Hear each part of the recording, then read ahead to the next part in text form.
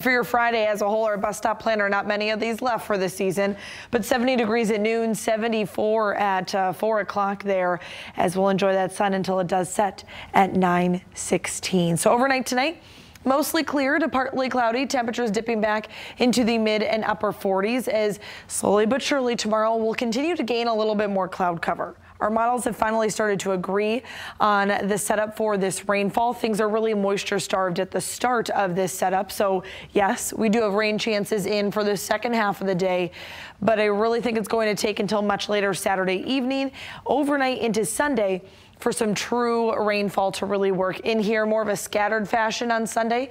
Could see some heavy downpours, maybe some rumbles of uh, thunder and lightning, but nothing expected to be severe and this will continue into the first half of the day on Monday. So 70 degrees tomorrow, Sunday, out of the weekend, the more likely day to see some rainfall.